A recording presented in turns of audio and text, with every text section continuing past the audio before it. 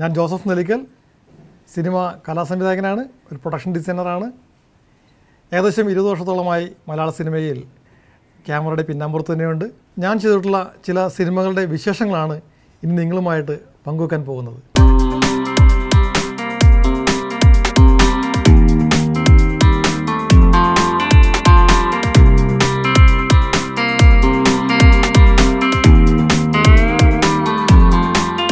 George സാറിന്റെ തന്നെ മറ്റൊരു സിനിമയായിരുന്നു റോബിൻ ഹുഡ്. എനിക്ക് തോന്നുന്നു രണ്ടായിരത്തി ഒമ്പതിലാണ് ആ സിനിമ റിലീസാവുന്നത്.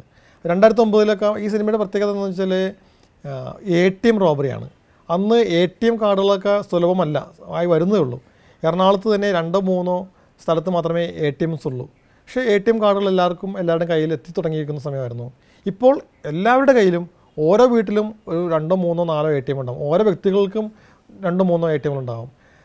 അപ്പോഴും ഇപ്പോഴും നമ്മൾക്ക് ആർക്കും എ ടി എമ്മിന്റെ പ്രവർത്തനം കൃത്യമായിട്ട് എന്താണെന്നുള്ളത് ആർക്കും അറിയില്ല. അന്ന് ഈ സ്ക്രിപ്റ്റ് വായിച്ചപ്പോഴത്തേക്കും എനിക്ക് അതെനിക്കറിയില്ല എന്ന് പറയാൻ പറ്റില്ല. കാരണം സിനിമയിൽ നോ എന്ന് പറഞ്ഞ വാക്കില്ല. ഞാൻ ആ സിനിമയിൽ ആർട്ട് ഡയറക്ടറായിട്ട് എനിക്ക് പറ്റില്ല എന്ന് പറയാനാണെങ്കിൽ നോ പറയാനാണെങ്കിൽ പിന്നെ അത് ഞാൻ പറയേണ്ട ആവശ്യമില്ല. വേറെ ആർട്ട് ഡയറക്ടർ ഒന്ന് നോ പറഞ്ഞാൽ പോലെ എന്നുള്ളതാണ് സിനിമയുടെ ചിന്താഗതി. അതുകൊണ്ട് ആ സ്ക്രിപ്റ്റ് വായിച്ചപ്പോൾ ചെയ്യാമെന്ന് പറഞ്ഞു. അങ്ങനെ ഞാൻ അതിനെക്കുറിച്ച് റിസർച്ച് നടത്തി ഒരുപാട് ബാങ്കുകൾ പോയി അന്വേഷിച്ചു. പക്ഷെ അവർക്ക് ആർക്കും ഇതിന്റെ പ്രവർത്തന രീതിയെക്കുറിച്ച് അറിയില്ല. കാരണം അവർ അതൊരു മെക്കാനിസമാണ്. ആ മെക്കാനിസം ഞങ്ങളല്ല ചെയ്യുന്നത്. പുറത്തുനിന്ന് സെറ്റ് ചെയ്യുന്നതാണ്. അതിന്റെ ഇന്റീരിയർ എന്താണെന്ന് പൊളിച്ചു നോക്കാൻ പറ്റില്ല എന്താണെന്ന് ആർക്കും അറിയില്ല എന്ന് പറഞ്ഞു. അപ്പോൾ പിന്നെ നമുക്ക് റീക്രിയേറ്റ് ചെയ്യേണ്ടി വന്നു. അതായത് നമ്മളൊന്ന് എന്താ പറയുക അസ്യൂം ചെയ്തു. ഇങ്ങനെ ആയിരിക്കാം അതിന്റെ പ്രവർത്തനം. എന്ന് പറഞ്ഞുകൊണ്ട് ഞങ്ങൾ അതിന്റെ ഒരു സാധനം ഉണ്ടാക്കി. ഈ കാർഡ് അകത്തേക്ക് പോകുന്നു അതിനൊരു സാധനം റിലീസ് ചെയ്യുന്നു. ഒരു ഗ്രീൻ ലൈറ്റ് വന്ന് അതിനെ സ്കാൻ ചെയ്യുന്നു. എന്ന് പറയുന്ന രീതിയിൽ ഇതുണ്ടാ ഒരു ഒരു മെഷീൻ ഉണ്ടാക്കി. ഈ മെഷീനെല്ലാം മാനുവലാണ് ആക്ച്വലി. അതിനകത്ത് ആളിരുന്നിട്ട് നിൽക്കുമ്പോഴാണ് ഇതെല്ലാം മൂവ് ചെയ്യുന്ന സംഭവം ചെയ്യുന്നത്. ഇപ്പോഴാണെങ്കിൽ നമുക്കതെല്ലാം റിമോട്ടിൽ ചെയ്യാൻ സാധിക്കും. അന്ന് അങ്ങനെയുള്ളൊരു ഓപ്ഷൻ നമുക്കില്ലായിരുന്നു അതുകൊണ്ട് മാനുവലാണ് ചെയ്തുകൊണ്ടിരിക്കുന്നത്. രാജു വന്നിട്ട് ഓരോ കീ നിൽക്കുമ്പോഴത്തേക്കും അതിന്റെ താഴെ ഞാനോ അല്ലെങ്കിൽ എന്റെ അസിസ്റ്റൻസ് ഇരിക്കും. അപ്പോൾ ഒരു കീ നിൽക്കുമ്പോഴത്തേക്കും പുള്ളി ഒന്ന് മൂളും. ആ മൂളുമ്പോൾ ഞങ്ങളിവിടെ ഒരു ബട്ടൺ നിൽക്കും. അപ്പോഴാണ് ചേഞ്ച് ആകുന്നത്. അങ്ങനെ ഓരോ തവണ നമുക്ക് രാജു മൂളിക്കൊണ്ടിരിക്കും.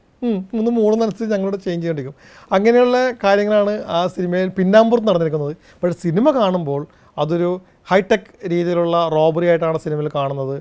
അതിന് പിന്നാമ്പുറത്ത് രസകരമാണെങ്കിൽ പോലും ആ സിനിമയിൽ ആ രസകരമായിട്ടുള്ള കാര്യങ്ങൾ മാറ്റി നിർത്തിക്കൊണ്ട് അതിന് ഡയറക്ടർ പ്രേക്ഷകനെ ത്രസിപ്പിക്കുന്ന തരത്തിൽ ഒരു ന്യൂ ടെക്നോളജി യൂസ് ചെയ്തുകൊണ്ടുള്ള ഹൈടെക് റോബറിയിലൂടെയാണ് സിനിമ കടന്നുപോയിക്കൊണ്ടിരിക്കുന്നത്.